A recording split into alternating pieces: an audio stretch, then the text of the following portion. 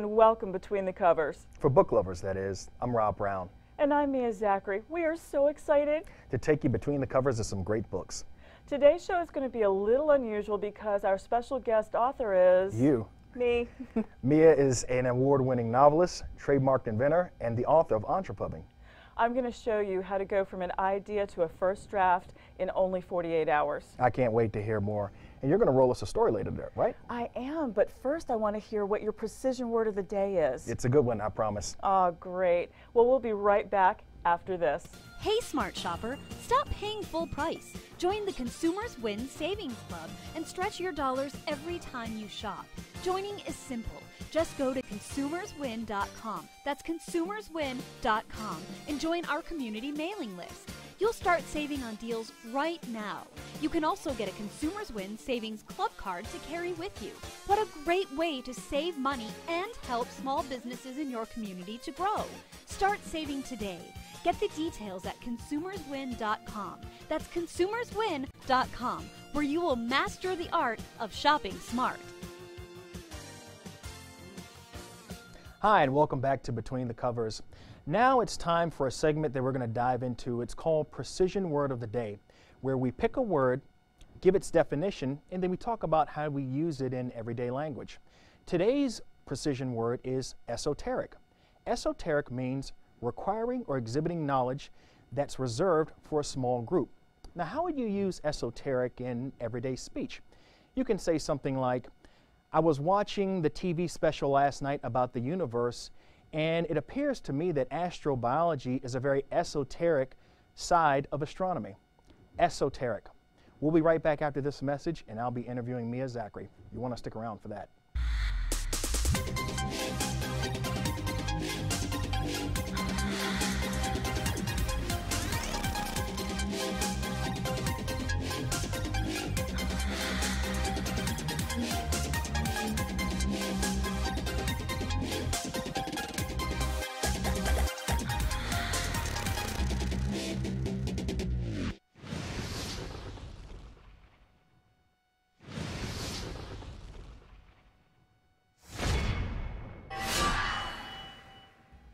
Hi, and welcome back to Between the Covers. Today we have a very special guest. You may know her, you may have seen her before. She is an award winning novelist, a trademark inventor. Her name, Mia Zachary. Mia, good to have you here. Good to be here. I was kind of here already, but nice to be back. Good, good. So you are our first guest. You are a writer. I am a writer. Okay. I am a writer. Tell us about how you started out writing. Um, I would say probably when I was about five, when my baby brother was born.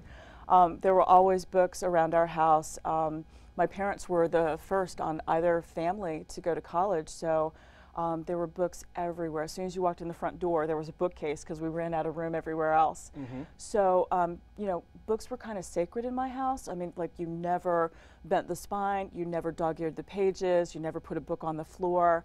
Um, so I always had great respect for books. And then, of course, story time, you know, at bedtime was my favorite time of the day. And I think that I just, you know, have always had a great imagination. And it was just natural for me to start writing stories for my baby brother. So that was my first book. Uh, I remember I, it was crayon drawings of uh, dinosaurs, and uh, I had made up a little story to go along with it, and my mom folded it for me and stapled it together. Um, and the one thing that really meant a lot to me was, um, oh gosh, I want to say maybe 20 years later, I was looking through some of her things and she kept that all that she time. She kept those books? She actually kept my little dinosaur drawings for my brother. wow. Wow. Now, your brother, obviously, he was younger than you. He wasn't able to read them until a couple years later. Right? Yep. I have two younger brothers. Uh, one's five years younger and one's 10 years younger. Okay. Do they have a love of writing too, or? No, actually, and uh, neither one of them are readers. Really? Yeah, it's like a genetic mutation. Just, it's just they're, happened they're with the black me. sheep of the family. Okay. exactly. Okay. So you you write fiction books, correct? I do. I do. Um, I've published ten books to date. Seven of them were fiction. Three of them were nonfiction. Wow. Wow. Tell us a little bit about the writing process. I mean, do you just do you just kind of sit down and start writing, or do you think about it for like a couple of weeks, or like how's your process? Well, first, Rob, the voices start in my head, Okay. and they tell me to do things, okay. and I do them. I know a specialist that can help you with that, but go ahead. you know, actually, um, that's actually how my characters come to me. I, I hear them talking inside of my head, and um, I usually pick um, celebrity photos to go with them so that I know what they look like.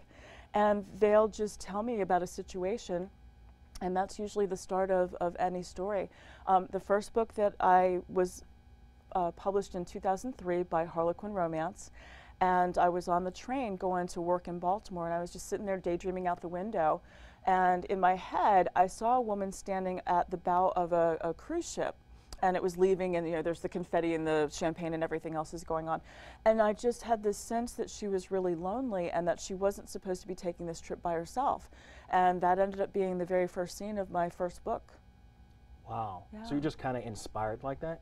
Yeah, I, I, I see, well, I, I actually do hear the voices first. I wasn't joking about that. And then I see things in my head like a movie scene, like, uh, and um, I actually choreograph the scenes as if I was directing it. And I do all of that before I write a single word. Okay.